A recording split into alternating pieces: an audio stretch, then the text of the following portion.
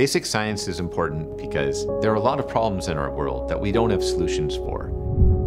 And the more we learn, the more our science advances, the more likely it is that we'll be able to come up with solutions to those problems.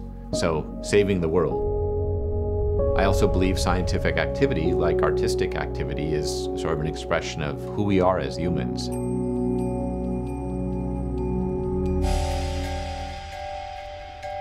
I became really interested in science relatively late. I was actually a social studies and then a philosophy major in college, and in my last year I took a developmental biology class. I think what I really liked about it was the feeling that progress was being made, discoveries were being made.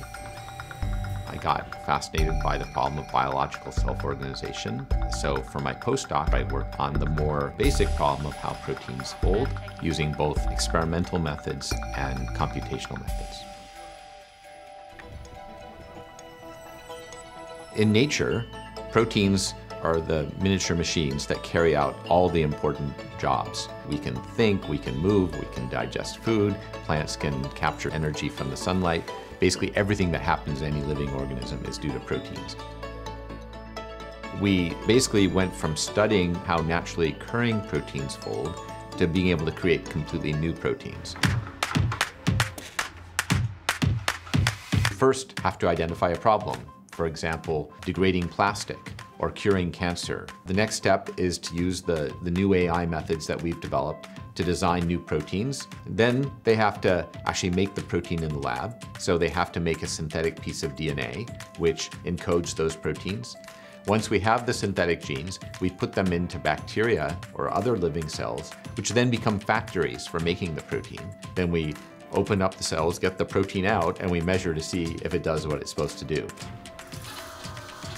Now that we understand the rules for designing new proteins, we can be very intentional about it, and we can design proteins to solve problems that natural evolution didn't solve. And a very exciting aspect of this protein design problem now is there are so many different fields that come together. I'm making proteins that um, the protease site is masked. So we're trying to create things that are only activated in diseased tissues and leave the rest of the body. Yeah. Specifically, I'm interested in rheumatoid arthritis, although there is... You know, physicists, computer scientists, biologists, it becomes a real melting pot of people from all these different disciplines.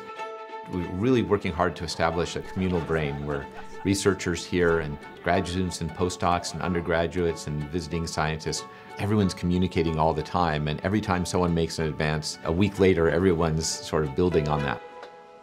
The communal brain doesn't stop here in this building. Exchanging ideas and brainstorming is, I think, just so important, not only within groups of scientists in one place, but through extended networks that can really extend around the world, and then also including non-scientists.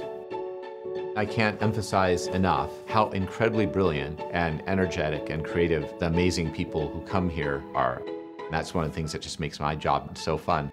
It's just an incredibly dynamic place with incredibly brilliant people.